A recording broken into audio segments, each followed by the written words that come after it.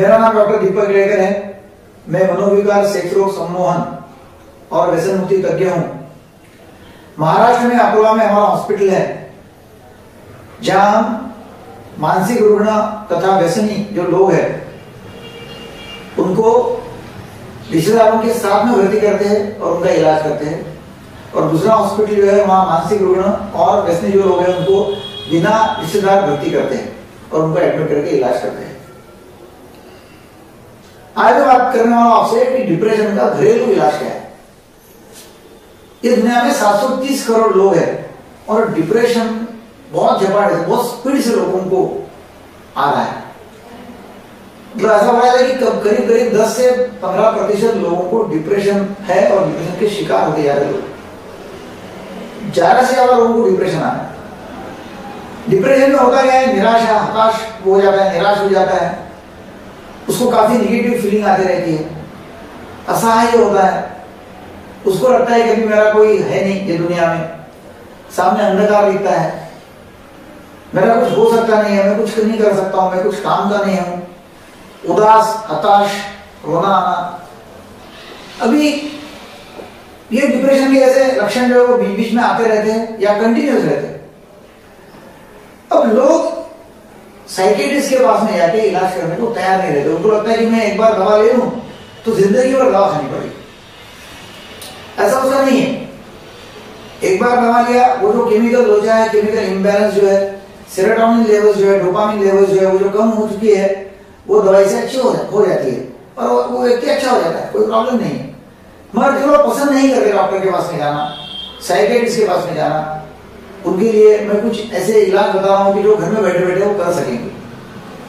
Number एक, जो है कि आदमी जब डायरेक्शनलेस होता है, दिशाहीन तो डिप्रेशन आता है। तो जो भी जिसको भी डिप्रेशन है, उसने अपना गोल पक्का करना चाहिए, अपना गोल सेट करना चाहिए। तो मेरे गोल्स क्या है, मेरे को करना क्या है, ज़िंदगी में करना क्या है। क्योंकि जब डायरेक्शनलेस होता है, तब डिप्रेशन ज़्यादा आता है। और बहुत बड़ा यदि गोल है, क्या होगा? तो भी डिप्रेशन आता है। तो वो जो गोल है, या जो टारगेट है, उसके टुकड़े टुकड़े करके, एक छोटा छोटा टारगेट लेना ताकि छोटे रिज़ल्ट जब आते हैं, छोटी सफलता मिलती है तो बहुत अच्छा लगता है।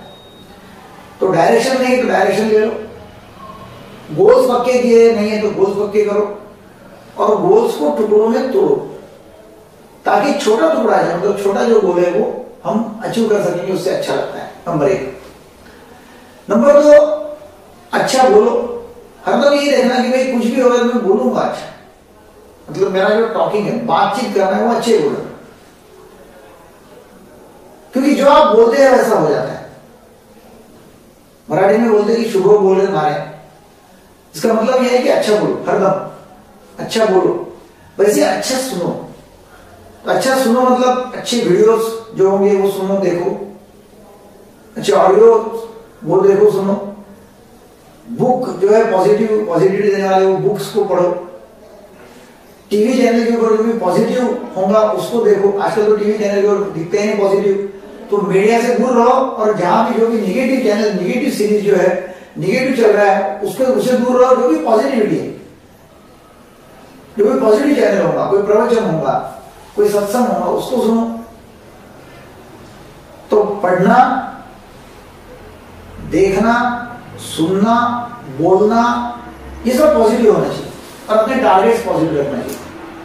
वैसे अपने मन में जो भी आ रहा है, वो अपने मन में ना रखते उसको बोल के बताओ लोगों जब आप किसको बोलते हैं, अपना मन खाली कर देते बहुत अच्छा लगता है। तो लोगों को बोलना शेयर करना लोगों के साथ में तो उससे बहुत हल्का लगता है।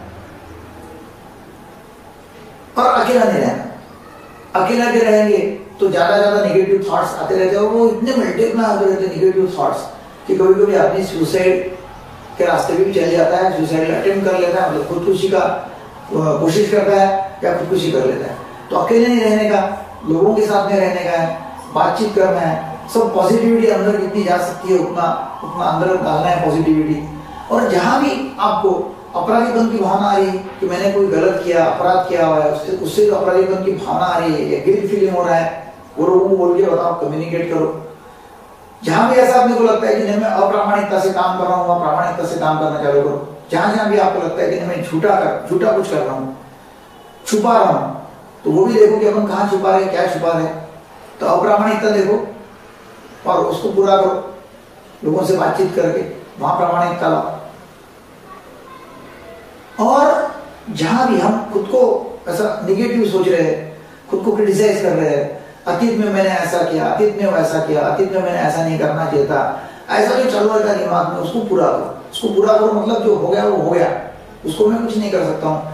अभी डायरेक्शन मुझे फ्यूचर में करना क्या है? उसके डायरेक्शन लो, उसके बारे में बातचीत करो। तो एक घरेलू उपचार में यह है कि जो अतीत हुआ है, जो भूतकाल है, उसके बारे में बातचीत करना बंद करो। जो हो गया वो हो गया।